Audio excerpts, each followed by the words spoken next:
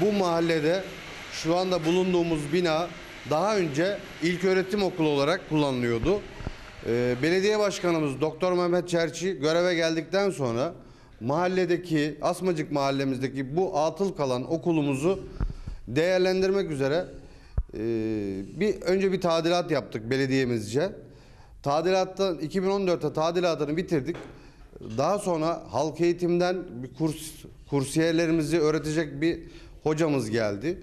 Belediye olarak bu e, yöresel Yuntdağ bezini üretilen bu makinaları belediye olarak satın aldık. Buradaki bayanları, çalışan mahalledeki bayanları çalışma imkanı, bunları iş imkanı, evlerine katkı sağlamak amacıyla böyle bir iş imkanı sağladık. Şu anda bu bez üretiliyor. Manisa Yuntdağ yöresel bezi. Bu bezden şal, masa örtüsü gibi çeşitli ürünler yetiştiriliyor. Ürettiğimiz bu bezleri belediye başkanımız e, yurt dışındaki e, kardeş belediyelere hediye ediyor. Bir kısmını ticaret olarak satıyoruz.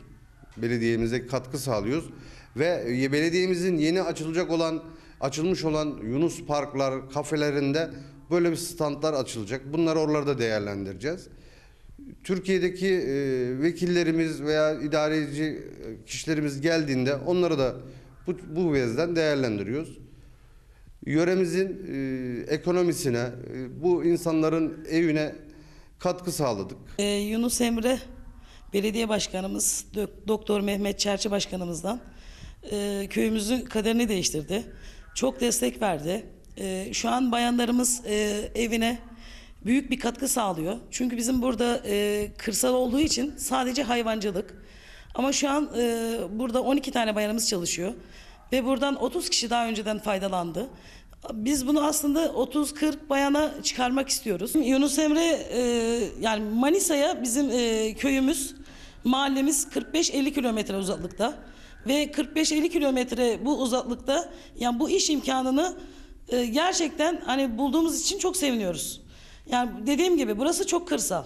Ve bu ürünlerimizin çok değerli vekillerimize, Cumhurbaşkanımıza, e, eşi Emine Erdoğan'a olsun, kardeş belediye başkanlarımıza olsun.